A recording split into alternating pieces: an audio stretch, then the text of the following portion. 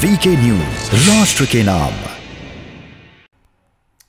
तो प्रधानमंत्री नरेंद्र मोदी को आपने सुना, पूर्वांचल में एक्सप्रेसवे के बहाने उन्होंने कांग्रेस पर भी निशाना साधा, समाजवादी पार्टी पर भी निशाना साधा और निशाने पर थे पूर्वांचल के वोटर। क्या एक्सप्रेसवे सत्ता का रनवे बन पाएगा बीजेपी के लिए। और इसी पर चर्चा के लिए हमारे साथ तमाम मेहमान बने हुए अनीता अग्रवाल भारतीय जनता पार्टी से लखपत बुटेला जी है कांग्रेस से। मनोज अस्थाना समाजवादी पार्टी से जुड़े और दीपक राय राजनीतिक विश्लेषक के तौर पर हमारे साथ जुड़े सबसे पहले मैं मनोज अस्थाना जी के पास जाना चाहूँगा। मनोज जी, पूर्वांचल को लेकर एक बड़ी सौगात आज भारतीय जनता पार्टी की ओर से दी गई। समाजवादी पार्टी यह दावा करती है कि उसका ही एक्सप्रेस वे है उस जिसके आपने आधारशिला रखी थी और उस पर भारतीय जनता पार्टी अपना लेबल चिपका रही है। उस पर कुछ राजनीति करने की कोशिश भी की गई, समाजवादी पार्टी के कार्यकर्ताओं की ओर से सांकेतिक तौर पर उसका शुभारंभ करने की भी कोशिश की गई। लेकिन आज की जो तस्वीर है, क्या ये जो पूर्वांचल का एक्सप्रेस वे है? हकीकत तो यही है कि भारतीय जनता पार्टी ने इसे पूरा किया है। क्या ये चुनाव में आपको लाभ दे पाएगा?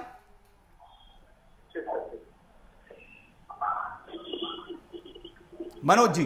मनोज जी हाँ सर आवाज़ आ रही है? जी मनोज जी बोलिए। हाँ आवाज़ आ रही है सर? शायद मनोज जी कुछ तकनीकी दिक्कत है। मैं अनीता जी के पास जाना चाहूँगा। अनीता जी पूर्वांचल में एक्सप्रेसवे की एक बड़ी शुरुआत की गई और वहाँ से चुनावी बुगल प्रधानमंत्री नरेंद्र मोदी ने फूका है।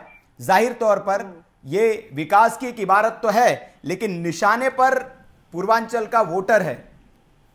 क्या ये जो सौगात है ये वोटों में तब्दील हो पाएगी? देखिए हम तो जब से सरकार आई है मोदी सरकार योगी सरकार विकास कार्य की रफ्तार बिल्कुल आगे बढ़ा दी है विकास काफ़ी समय से कर रहे हैं। ये तो है नहीं कि चुनाव के समय विकास हो रहा है या ये भी चुनाव के समय में फटाफट जादू की छह पूर्वांचल एक्सप्रेस तैयार हो गया। ये हम्म। पहले से तैयार हो रहा था और तैयार हो गया। और सबसे बड़ी बात है आज जो समाजवादी पार्टी कहती है कि हमारा तो हम तो ये कहना चाहेंगे कि आपको शायद मालूम होगा जब अटल जी की सरकार थी वो हम्म। हमेशा ये कहते थे सड़क से सड़क को जोड़ो नदी को नदी से जोड़ो और दिल को दिल से जोड़ो ये भारत है हम्म। भारत में एक होकर हो ये हमारा सिद्धांत है हम उस सिद्धांत के वा, वादी लोग हैं ये तेरा और मेरा और जात और पात और ये सब जो बंटवारे की राजनीति जो जो कर रहे हैं पार्टियाँ ये हम्म। सब करना छोड़े और जनता के लिए काम करें और हम जनता के लिए काम कर रहे हैं और जनता का काम कर रहे हैं और सबका साथ सबके विकास का काम कर रहे हैं इसलिए इसमें वोट साबित होगा नहीं होगा ये जनता तय करेगी कि हम्म। हमें किसको देना है हम्म। ये हमें तय नहीं करना ये जनता को तय करना है और जनता जनार्दन है जनता जान लेकिन अनिता जी समाजवादी पार्टी तो कह रही कि उनका प्रोजेक्ट है वो फीता आप काट रहे हैं दिल्ली से कैंची ला रहे हैं फीता लखनऊ से ला रहे हैं मैंने आपसे बोला अभी कि प्रोजेक्ट वो कह रहे हैं हमारा है तो मैं हमने तो पहले बोल दिया अटल जी की सरकार का है कि सड़क से सड़क को जोड़ो। हम्म। सड़कों का सड़क से सारे तो अगर हम ये कहते रहे कि सबसे पहला प्रोजेक्ट तो हमारी अटल सरकार का ही है। हम्म। तो ये इस तरह कहना गलत है। कांग्रेस वाले तो कहेंगे कि पहले प्रधानमंत्री तो हमारे थे जवाहरलाल नेहरू जी। उन्होंने फिर इसकी स्थापना वो तो कहने को तो फिर कांग्रेस इस पे क्लेम कर देगी मैं मैं वो मैं क्या कह रही मैं यही तो कह रही हूँ हाँ। आप विकास की रफ्तार को देखिए हम्म। विकास को देखिए विकास का कार्य देखिए हम्म। ना कि ये हमने किया ये वो तब किया ये हमने तब किया अब ये फीता रही ये सब चीज़ें बच्चों बंद करे आप विकास कार्य को देखें कि विकास कार्य कौन आगे बढ़ा रहा है। ये हम्म। जनता देख रही है और जनता को मालूम है कि मोदी सरकार योगी सरकार किस लिए काम कर रही है और हम सबका साथ सबका विकास सब पे विश्वास के लिए काम कर रहे हैं। हमने कभी ये नहीं कहा कि पहला अधिकार मुसलमानों का जैसे मनमोहन सिंह जी ने कहा था अखिलेश जी ने कहा ये मुस्लिम लड़कियों के लिए। हमने ऐसा कभी नहीं कहा। हमने आज जो भी योजनाएँ हैं वो सबको मिलती है चाहे वो हिंदू हो चाहे मुस्लिम हो चाहे कोई हो। तो योजनाएँ सबके लिए हमने हमेशा हमारे मोदी जी ने और हमारे योगी जी ने सारे योगी ने प्रदेश के कहा कि सारा प्रदेश के जनता हमारी है। उन्होंने हमेशा सवा सौ करोड़ जनता की बात कही है। मोदी जी ने भी। कभी उन्होंने इस चीज़ को नहीं कहा। हम तो शुरू से कहते हैं भारत एक गुलदस्ते की तरह। इसको सजा के रखो इसको बांटो नहीं। और हम्म। बांटने की जो राजनीतिक पार्टियाँ बांट रही हैं और आरोप हम पे लगाती हैं वो हम्म। अपने गिरेबान में जाके देखे कि वो क्या कर रही हैं। वो ये कह रही है हमने किया ये तुमने किया ये ऐसे अरे आप ये कहिए कि जो आज कार्य हो रहा है विकास कार्य हो रहा है उसकी प्रशंसा करनी चाहिए। हम्म। विपक्ष का काम केवल विरोध करना नहीं होता विपक्ष का काम प्रशंसा करना भी होता है। हम जब विपक्ष में हम्म। चलिए चलिए अच्छा विपक्ष का काम प्रशंसा करना होता है विरोध करना नहीं होता बुटेला साहब कांग्रेस से हमारे साथ जुड़ गए। जी जी अनिता जी मैं आपके पास आऊँगा बुटेला जी हमारे पास बुटेला जी हमारे साथ है। बुटेला जी विपक्ष का काम भारतीय जनता पार्टी कह रही सिर्फ़ विरोध करना नहीं प्रशंसा करना भी है। आपको लगता है कि उत्तर प्रदेश में विकास के कार्य हो रहे पूर्वांचल एक्सप्रेसवे इतना बड़ा बन गया है विकास को रफ्तार मिलेगी।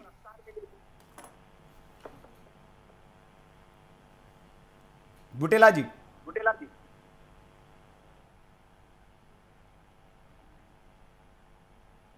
बुटेला जी आपको आवाज़ आ रही है?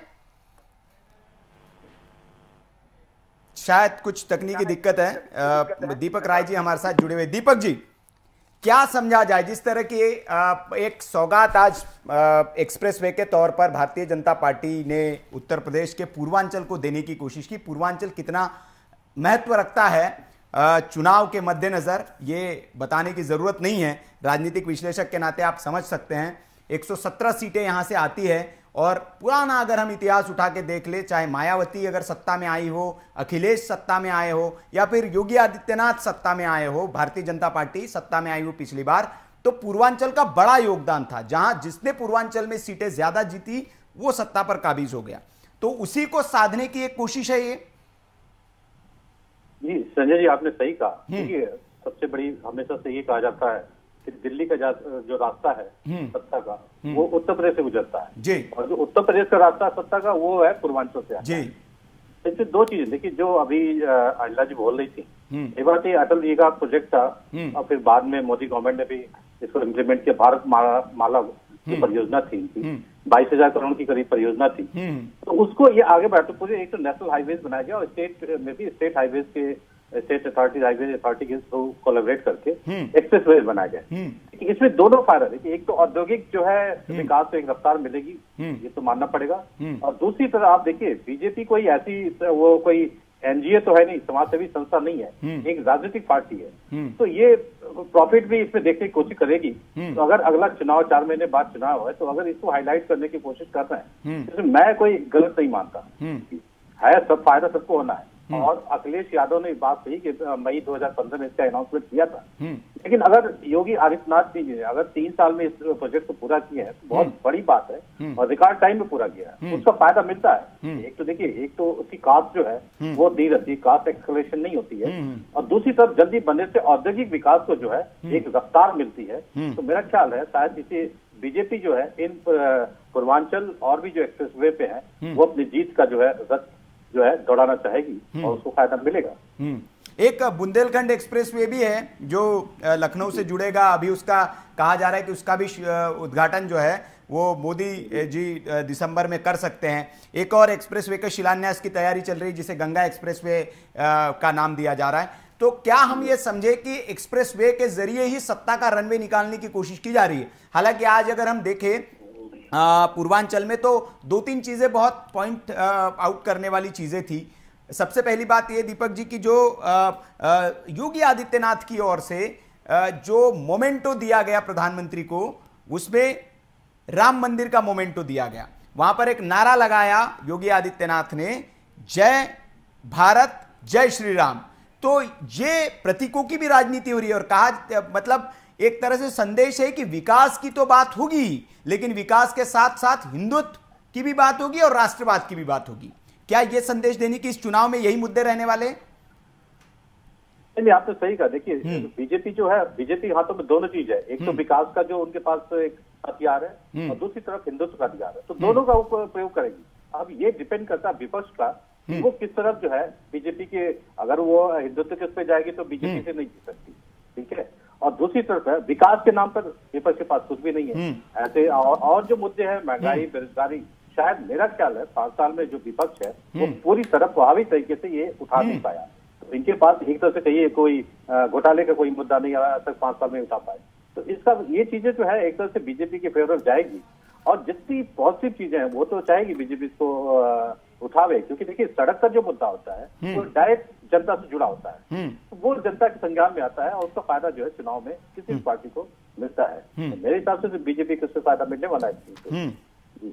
चलिए चलिए अनिता जी हमारे साथ हैं। अनिता जी ज़ाहिर तौर पर बात विकास की हो रही है, विकास के मुद्दे की हो रही है। एक्सप्रेस वे चाहे भारतीय जनता पार्टी आज की अगर हम, आज की ही बात न करें, चाहे अटल बिहारी वाजपेयी की सरकार ले ले, पूर्ववत सरकार भारतीय जनता पार्टी की जब भी रही है इंफ्रास्ट्रक्चर पर ज़ोर होता है भारतीय जनता पार्टी का। और इंफ्रास्ट्रक्चर के ज़रिए, विकास के ज़रिए सत्ता तक आप जाने की कोशिश करते हैं। लेकिन चाहे अटल बिहारी वाजपेयी की सरकार हम ले ले तो कहीं ना कहीं जो एक शाइनिंग इंडिया का जो नारा दिया गया था सत्ता में वो परिवर्तित नहीं हो पाया। इतने आपने express way Bharatmala project की बात करें या स्वर्णिम चतुर्भुज अ, योजना की बात करें सब अटल बिहारी वाजपेयी सरकार के ये योजनाएँ थी लेकिन वो सत्ता में परिवर्तित नहीं हो पाई। उत्तर प्रदेश में भी बड़ी कांटे की टक्कर बताया जा रहा है समाजवादी पार्टी की ओर से ज़ोर लगाया गया है। तो क्या ये जो एक्सप्रेस वे है ये सत्ता का रनवे बन पाएँगे आपके लिए?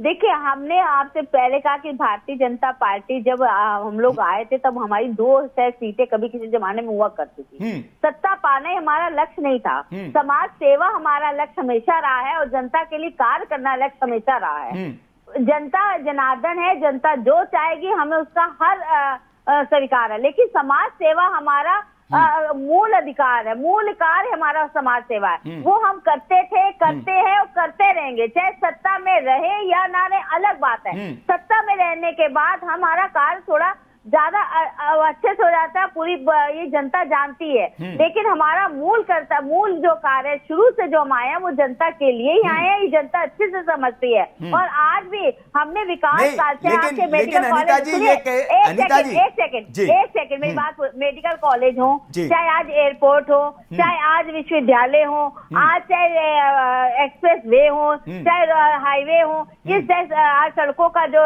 निर्माण हो रहा है सारा या आज जो भी गाँव में गाँव हो रहे हैं चाहे आवास दे रहे हैं चाहे हम उज्ज्वला योजना दे रहे हैं चाहे हम जो भी योजनाएँ दे रहे हैं वो जनता के अंतिम छोर था जो दीन दयाल उपाध्याय जी का सपना था अंत्योदय वाला हम उसको पूरा करने में लगे हुए हैं। क्योंकि नहीं, हमारी नहीं, जो नहीं, बिल्कुल बिल्कुल अनिता जी आपने कहा अंत्योदय वाला जो सपना है उसे पूरा करने में आप लगे हुए हैं आप सेवा करना चाहते हैं गरीबों की।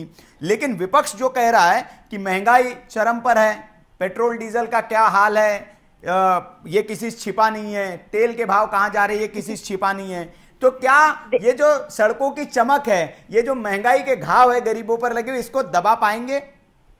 देखिए ऐसा है। मेरी बात सुनिए महँगाई अगर आप कहते हैं महँगाई हम भी मानते हैं लेकिन आप उनकी इनकम भी देखिए इनकम भी साथ में बढ़ी है। और सबसे बड़ी बात है पेट्रोल के दाम अभी घटे भी हैं। और और एक चीज़ मैं और कहना चाहूँगी जब हमारा विकास कार्य बढ़ता बाकी कोरोना काल में देखिए दो साल कितना बैक गियर लगा है पूरे विश्व में लगा। खाली हिंदुस्तान में नहीं लगा पूरे विश्व में लगा। है और धीरे धीरे हमारी आर्थिक व्यवस्था धीरे धीरे और ठीक हो रही है। और हमें उम्मीद है कि आते आते और ठीक होगी। आप देखिए भारत का नाम हमारे मोदी जी ने पूरे विश्व पटल पर एक ऊपर जाके रख दिया। भारत आज एक अपनी अलग पहचान बनाए हुए है। ये हमारे मोदी जी के और भी प्रधानमंत्री थे उन्होंने किया। मैं ये नहीं कहती नहीं क्या लेकिन मोदी जी ने इसको शिखर पे पहुँचाया है। नहीं नहीं और ये जनता- अनिता अनिता जी ये ये बात ठीक है। ये बात ठीक है कि भारत का नाम विश्व में ऊँचा हुआ है लेकिन जनता जो है वो त्राही त्राही कर रही है। अगर आप उनसे नहीं, बात। करें तो कह रहे हैं कि सिलेंडर महँगा हो गया है तेल महँगा हो गया है तो इनको कैसे डील करेंगे आप? क्या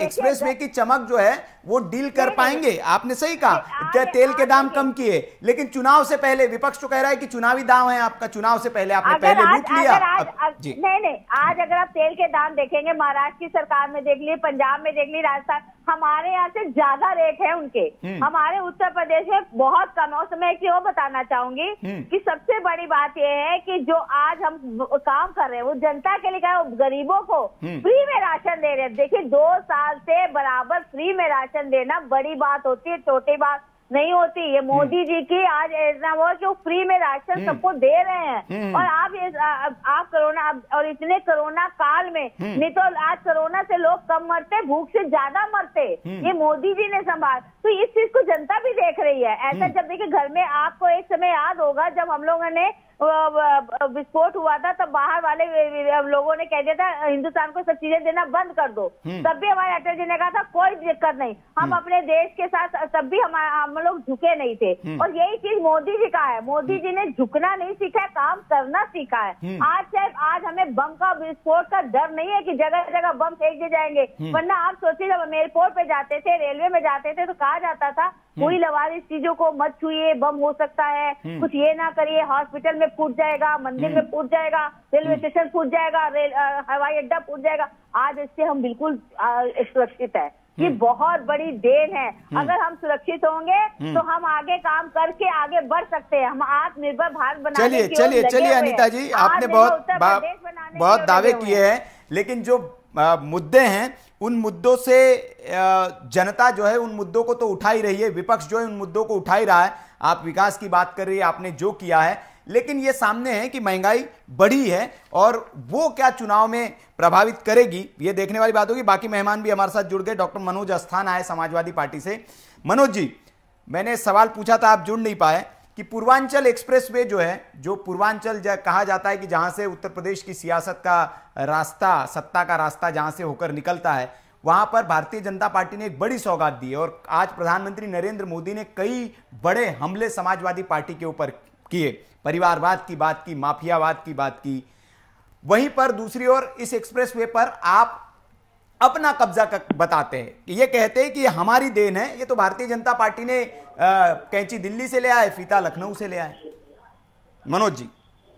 जी सर। हेलो। जी आ, आवाज़ आ रही है? हाँ सर आवाज़ आ रही है। जी मैं ये कह रहा हूँ मनोज जी कि क्या लखनऊ एक्सप्रेस वे के रास्ते जो सत्ता का रास्ता खोजा जा रहा है सत्ता तक पहुँचने की जो कोशिश हो रही है समाजवादी पार्टी ने प्रधानमंत्री मोदी के पहले ही साइकिल चला के उसका सांकेतिक एक तरह से शुभारंभ कर दिया। क्या ये पूर्वांचल की जनता नहीं समझती है कि किसने बनाया ये कौन किसका इस पर हक है? सर जनता सब जानती है और जनता इंतज़ार कर रही है हम्म। 2022 के विधानसभा चुनाव में हम्म। और सब प्रतिशत जीत हमारी होनी है समाजवादी पार्टी जीत के आ रही है। क्यों? क्योंकि भारतीय जनता पार्टी कर क्या रही है वो हमारे ही कामों को हम्म। हमारे ही कामों को एक्चुअली देखा जाए तो डायरेक्ट रूप तो हमारे ही तो प्रचार कर रहे हैं। हम्म। भाई जो कुछ भी उन्होंने किया आज उन्होंने हमारा ही तो काम किया हम्म। हमारा ही तो प्रचार किया सभी जानते हैं पूरी जनता जानती है कि किस तरह से ये लोग लोगों को मन भटकाने के लिए महँगाई से अलग करेंगे बेरोजगारी से किन मुद्दों पे बात करना चाहिए उस पर बात नहीं करेंगे। हम्म। नहीं मतलब भटकाने आप कह रहे। कि एक्सप्रेस वे बना दिया गया ये इसलिए बनाया गया ताकि महँगाई से ध्यान हट, हट जाए। नहीं नहीं। हम्म। एक्सप्रेस वे तो सपना हमारे अखिलेश यादव जी का था। हाँ। और और ये सोच चाहिए ना भाई हाँ। देखिए जो आज ये कर रहे हैं 2015 में लखनऊ आगरा हाईवे पे एक्सप्रेस वे पे हम लोग पहले प्लेन उतार चुके हैं। हम्म। तो नहीं नहीं वो ठीक है? वो वहाँ पे प्लेन उतारा आपने एक्सप्रेस वे का शुभारंभ किया उसके बाद आप सत्ता में नहीं लौट पाए। एक्सप्रेस वे इतना बढ़िया बनाया आपने फिर भी जनता ने आपको सत्ता नहीं दी। देखिए सत्ता में लोगों को मौका मिला ये जानने का कि जो वर्तमान सरकार है अभी हम्म। उसने क्या किया और जो पिछली सरकार हमारी समाजवादियों की थी उन्होंने क्या किया? ये जानने का मौका मिला अगर और दो हज़ार बाईस में जनता इस बात का इंतज़ार कर रही है। जी जी। मनोज जी अगर इसकी तुलना हम करें तो एक एक्सप्रेसवे समाजवादी पार्टी की सरकार में बना एक एक्सप्रेसवे मायावती की सरकार में बना। योगी आदित्यनाथ ने तो अ, दूसरा एक्सप्रेसवे उनका तैयार होने वाला है दिसंबर में। उसका भी वो शुभा- शिलान्या शुभारंभ करेंगे बुंदेलखंड एक्सप्रेसवे। तीसरे एक्सप्रेसवे का शिलान्यास करने की तैयारी है गंगा एक्सप्रेसवे की। तो वो तो कहेंगे कि हमने तो ज़्यादा काम किया है आपसे अगर आप काम की बात करें तो।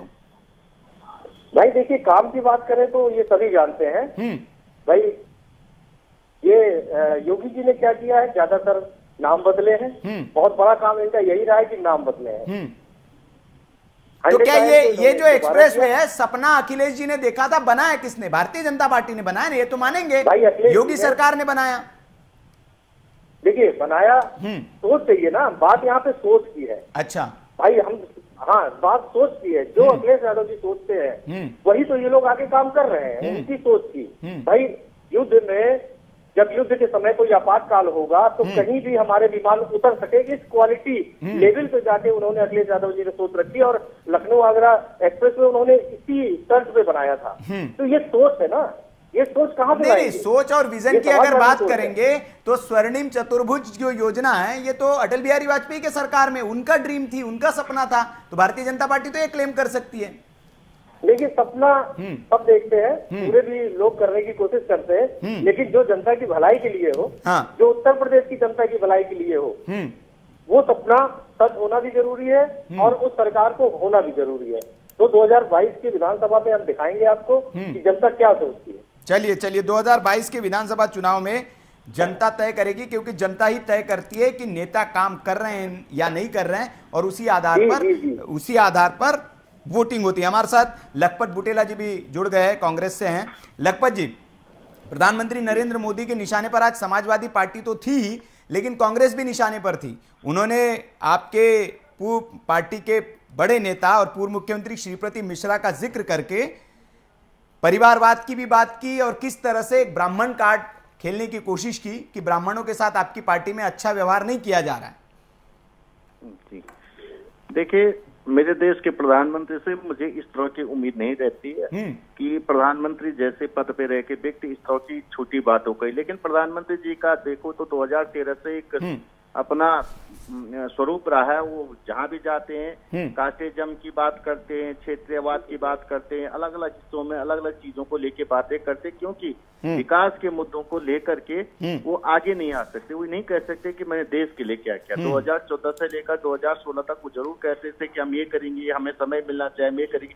लेकिन क्योंकि पाँच समय लोक पाँच साल लोकतंत्र में तकाजा होता है उस पाँच साल के अंदर माननीय प्रधानमंत्री जी नहीं कर पाए। जहाँ तक भाजपा के प्रवक्ता कह रहे थे कि हम अंत्योदय योजना ला के आ रहे गरीबों से बहुत प्रेम है। इनको गरीबों से कितना प्रेम है मैं बता सकता हूँ कि जब 2014 में कांग्रेस की सरकार केंद्र से गई तो 27 करोड़ लोग गरीबी रेखा के नीचे थे। लेकिन इतना इनका इतना प्रेम है कि इनको लेके छप्पन करोड़ पे चले गए गरीब रेखा के नीचे लेकर के। इनका गरीबी से कितना प्रेम है कि सिलेंडर आज हज़ार पार कर गया। क्रूड ऑयल इतना सस्ता अठारह डॉलर पर बैरल तक आए आज चौरासी डॉलर पर बैरल पे उसके बाद भी डीजल पेट्रोल सौ रुपया पार है। न्यूज़ ये बनती की ग्यारह दिन में डीजल पेट्रोल की कीमतें नहीं बढ़ी है। मैं आपसे कह रहा हूँ कि जिस तरह से इस देश के अंदर महँगाई हुई बोलना चा, बताना चाहती हूँ। थोड़ा समय दीजिए हमें। नहीं नहीं अनिता जी मैं आपके पास आ रहा हूँ। वो बोल ले अपने अपने बारे में बोले। सुन लीजिए। अरे मैं आपसे ठीक है ये कहना चाह रही इस चीज़ का जवाब दीजिए। मैं आपसे तीन चीज़ें पूछना मैडम। पहला सवाल ये है कि ये पूछिए कि सिलेंडर के दाम क्यों बढ़े? जब क्रूड ऑयल इतना सस्ता है दुनिया के अंदर उसके बाद भी डीजल पेट्रोल के दाम क्यों बढ़े? तीसरी बात मैं पूछना चाहूँ देश के अंदर आज़ादी के बाद सैंतालीस परसेंट से ज़्यादा बेरोजगार दर क्यों गई आपने बहुत विकास किया अस्सी करोड़ लोगों को आप राशन देने की बात करते इसका मतलब आप अस्सी करोड़ लोगों को भिकमंगा बना दिया गरीबी की रेखा के नीचे ले जाने का आपका कितने लोगों सत्ताईस करोड़ से आप सत्रह करोड़ लोगों को गरीबी रेखा में लाते तो हम कहते हैं आपने दस करोड़ लोगों को गरीबी रेखा से जीवन उत्पन्न उत्पन्न किया। साढ़े छह करोड़ लोग जो जो नहीं लखपत जी लखपत जी देखिए यही दिक्कत हो जाती है टोकना पड़ता है आपको। आप डबल स्टैंडर्ड वाली बात करते हैं। एक तरफ़ तो गरीबों को राशन दिया जा रहा है उसका आप यहाँ विरोध कर रहे हैं। राहुल गांधी जी कहते हैं कि न्याय योजना लाओ गरीबों के खाते में पैसे डालो।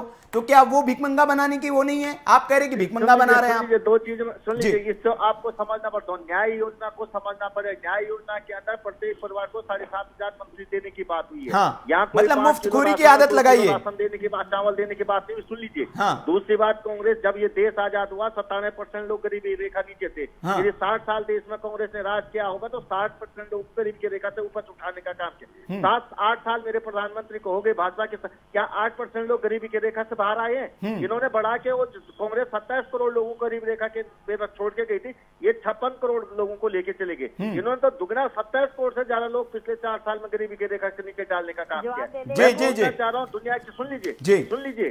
पिछले पंद्रह सालों में क्रूड ऑयल सबसे सस्ता हुआ है। क्या इसका फ़ायदा लोगों को मिला है? आज एक्सप्रेस वे बन रहा मैं बधाई देना चाहता हूँ की सरकार विकास की बात करती है। बहुत अच्छी बात है। लेकिन दुख तब होता है की जब प्रधानमंत्री जी केदारनाथ के अंदर आते हैं और उत्तराखंड की भयंकर आपदा में जो पिछले पंद्रह दिन पहले आपदा आए थे एक रुपया नहीं देते पूरे देश के अंदर भाषण देने का काम करते लेकिन उत्तराखंड में केदारनाथ के अंदर जो पंडा समाज जो भारी विरोध के साथ सड़कों पे कोई दिखाने का काम नहीं करता ना उनकी बात सुनी जाती है। दुख तब होता है जब प्रधानमंत्री जी बहुत बड़ी बातें कहते हैं कि मैं देश के विकास कर रहा हूँ देश के सैंतीस पीएसयू देश के बेच दिए। प्रधानमंत्री जी एनएच बेच दिए प्रधानमंत्री जी भेल दे दिया बेल बेच दिया गेल बेच दिया सेल बेच दिया रेलवे बेच दिया देश के अंदर एयरपोर्ट बेच दिए हैं और आज एनएच भी बेच दिए हैं। मैं ये कहना चाह रहा हूँ क्या सरकार ये बहुत ये बहुत गलत मैं- मैं- मैं अनिता जी आ रहा हूँ, आपके पास हो आ रहा, हूँ। बर्दाश्त नहीं हो रहा। गलत नहीं बर्दाश्त हो रहा। जेल का जेल मेरा लखपत लखपत जी एक सवाल है मेरा आपसे। लखपत जी आपने कहा कि एयरपोर्ट बेच पार्टी दिए सेल बेच दिए गेल बेच दिए। मेरा मेरा एक सवाल है लखपत जी। कांग्रेस ने वो आपने बेचे नहीं, नहीं, लखपत जी, मेरा एक सवाल है। मैं इनको इसका जवाब देना चाहती हूँ। जी, जी, अनिता जी, मैं आ रहा हूँ आपके पास। नहीं किया है। लखपत जी। कौन सा जी। जी मेरा एक सवाल है आपसे। दिल्ली एयरपोर्ट गए हैं सर आप? जी। दिल्ली एयरपोर्ट के बाहर किसका नाम लिखा होता है वहाँ पर? आ, आ, आपने अच्छा समझ समझ गया आपका मतलब सुन लीजिए। नहीं नहीं आप। कह रहे एयरपोर्ट बेच दिया वो तो कांग्रेस सरकार ने दिया था उनको। आ, आप तो इसका मतलब क्या बेच दिया एयरपोर्ट?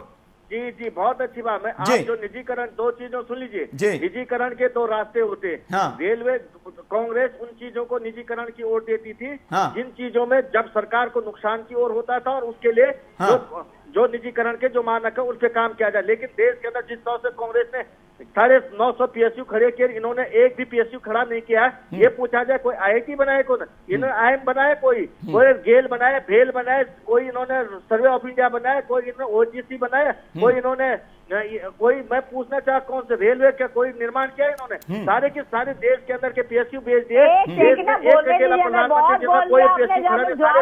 चलिए चलिए चलिए जी लखपत जी आपने बहुत सारे सवाल पूछे। हैं आज के मुद्दे पर हमने बात नहीं की बहुत सारे सवाल पूछे मैं भारतीय जनता पार्टी से इसका जवाब लूँगा लखपत जी। मैं इसका जवाब लूँगा अभी वक्त एक ब्रेक का है। ब्रेक एक छोटा सा ब्रेक लेते हैं ब्रेक के बाद फिर ये चर्चा हमारी जारी है। मैं लौट रहा हूँ और भारतीय जनता पार्टी से इसका जवाब लेंगे। ये है ड्रीम मीडिया नेटवर्क और आप देख रहे हैं देश का पहला 24 four by seven digital news channel VK news राष्ट्र के नाम।